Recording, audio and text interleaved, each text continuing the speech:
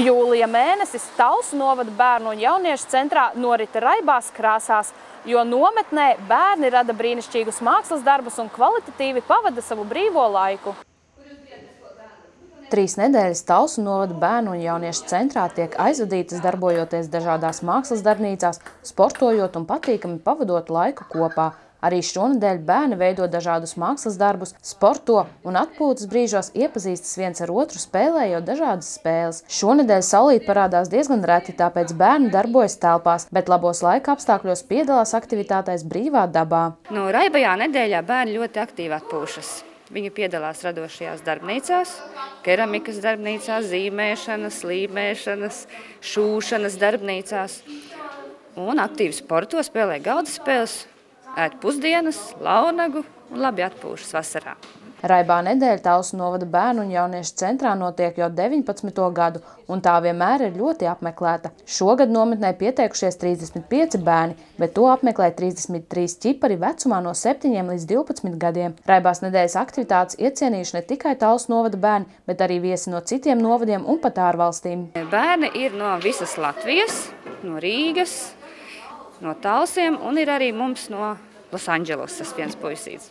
Jā, mums arī ir bijuši iepriekšējos gados gan no Zviedrijas, no Vācijas, arī no Taizemes mums ir bijuši brālis ar māsu. Nu, un arī no Kanādas. Kā saka nometnes vadītāja, raibās nedēļas bērni ir ļoti draudzīgi. Lielākie bērni vienmēr parūpējas par mazajiem un palīdz, kad nepieciešams. Bērni ar patiesu interesi iesaistās nodarbībās un pēc tam lepojas ar paveikto. Ir bērni, kuri apmeklē pat visas trīs nometnes nedēļas. Ko tu esi uzveidojis? Bizbis mārītes, mm, daudz lietas. Tu esi pirmo nedēļu šajā nometnē? Nē, um, nu, es pagājuši gadu biju un šogad es atkal esmu. Šis mans otrais nedēļas.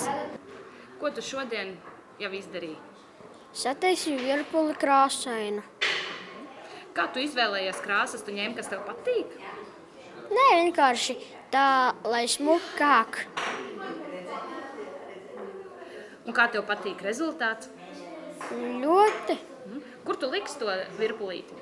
Došu vecstāvu un vēl es esmu sataisījis divas zvaigznes no sērkociņiem. Viena sanāca izbruka viena mala, bet tagad sanāca tāda daudz labāka. Vakardien darījāt? Mēs gājām pie Vikaini. Un mēs tur taisījām, mēs tur taisījām no sērkociņiem zvaigznītes. Un kā izdevās? Labi. Labi. Jums patīk te nometnē?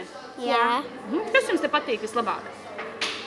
Viss nodarbības. Raibā nedēļa bērnu un jauniešu centrā ir kā tradīcija un katru gadu pulcē bērnus, kuri rada brīnišķīgus darbus, kurus pēc tam dāvināt saviem tuvajiem vai paturēt sev, lai tos aplūkojot varētu atcerēties nometnē pavadītās dienas. Nometne turpināsies vēl arī nākamajā nedēļā. Arī mēs radījām savus mākslas darbus Baiva Demberga, Tereza Matisoni, Talsu televīzija.